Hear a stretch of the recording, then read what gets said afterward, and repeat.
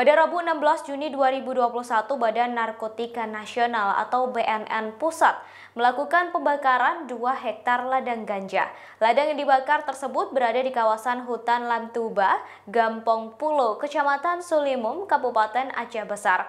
Total ganja yang dibakar sebanyak 20.000 batang atau 15 ton berat basah. Pemusnahan ladang ganja merupakan upaya pemberantasan peredaran gelap narkoba.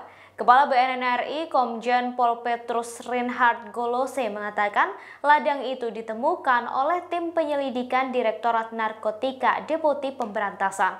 Dikutip dari serambinews.com Kamis 17 Juni 2021, pemusnahan itu melibatkan 200 personel gabungan dari BNN, polisi, dan TNI.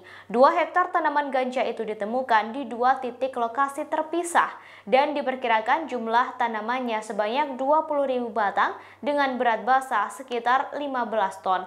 Ketinggian pohon sekitar 30 hingga 200 cm, tetapi masih belum bisa dipanen.